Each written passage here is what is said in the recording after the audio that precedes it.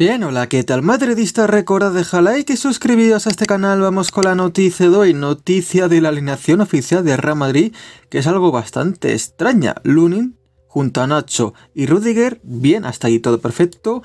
Eh, se podía jugar Chouamini, pero bueno, Chouamini va a jugar en otra posición. Mendy baja los otros laterales. Y el centro del campo son como cinco jugadores.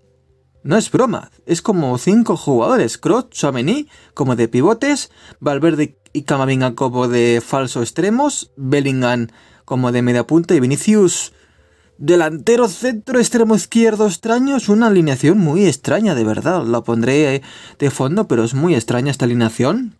Son como cinco eh, no sé, cinco centrocampistas extraños de cojones. Sinceramente, no lo llego a entender del todo la alineación. Eh, Nacho titular, veremos a ver qué tal, pero es muy rara, ¿eh?